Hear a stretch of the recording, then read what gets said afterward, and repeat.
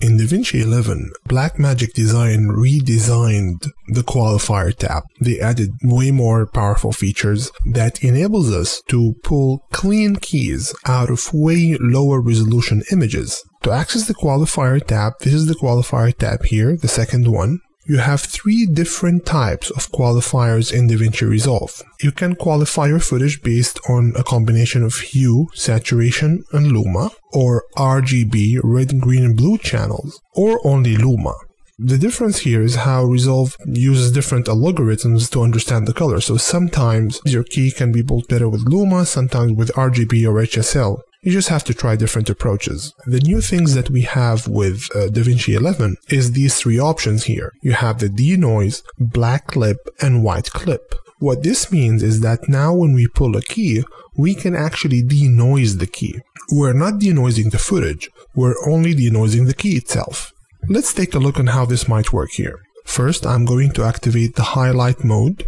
I can do that by clicking here or with the new Resolve, there's an option now to click here on the highlights mode. Now when we activate highlights mode, all of a sudden the image is white. That's because the whole image is selected. With highlights mode, you have three different options here, which is just a normal highlights mode, highlights with black and white, or highlight differences.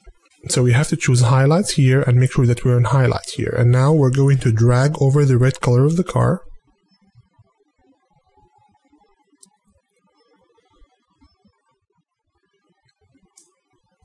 Okay, and notice that we're selecting some stuff in the back. Now, the first thing that we can do now is to denoise our selection.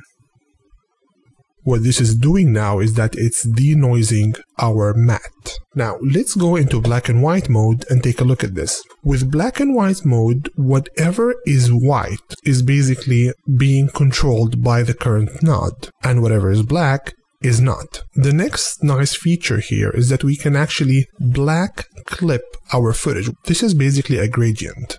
So what we will do, we'll go to black clip and start clipping some of the blacks in the back. So take a look at this. The more we pull in, we're cutting more of the stuff that we don't want in the background. Let's try to clip some of the white.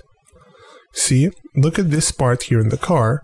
Okay, whenever white is not being clipped, we have some of the stuff that is gradient, and this is a part of the car. I actually want to select this.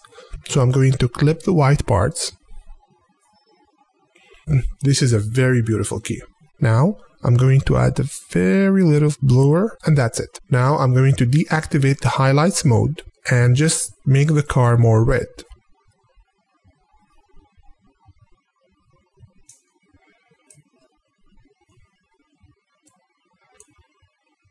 Of course, notice that some of the uh, fence in the background is being also selected. So we can remove that by just by drawing a shape around the car. Okay, now I can even change the color of the car by controlling the hue. Control, I can make it into a green car or a blue car.